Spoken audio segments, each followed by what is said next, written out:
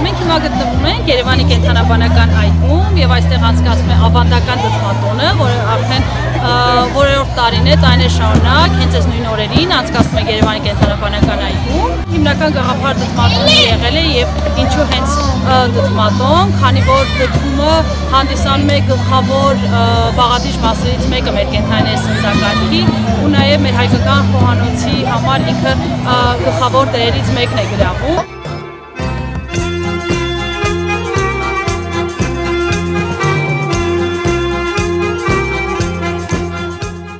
տարբեր դպրոցներից թիմեր են հավաքել, դասարաններով եկել են ու մրցում են իրար մեջ, թե ով ավելի արհեստավարժ կկարողանա տարբեր տեսակի դիզայներական լուծումներով կոմպոզիցիաներ սարքել, դա կլինի կենթանի, միգուցե դա կլինի ծառ դդումներից պատրաստած, այսինքն երեխաների երևակայությունը ընդհանրապես չենք սահմանափակել։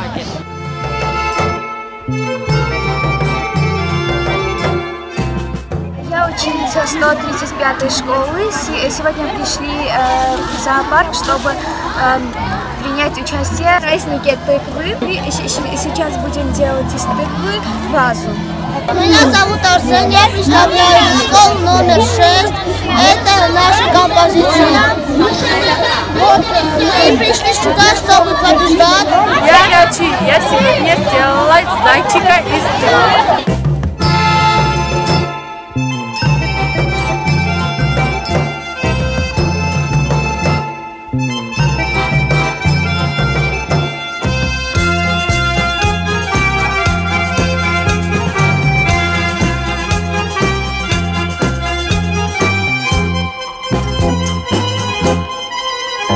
արդյունքների ամփոփից հետո արդեն երբ որ երեխաները կգրավեն համապատասխան հորիզոնականները, իրենց պատրաստած ուտեստները արդեն կհրամցնենք այն կենթանիներին ու սննդակարգին համապատասխանում է, այսինքն դա կլինի արդեն արջ, փիղ, գետածի, կախված նրանից թե կոնկրետ որ կենթանի համար են պատրաստել տվյալ կոմպոզիցիան ու մենք բոլոր մասնակից երեխաների հետ արդեն զբոսանք ունենանք այգում մանրամասն էքսկուրսիայով պատմելով յուրաքանչյուր կենթանու մասին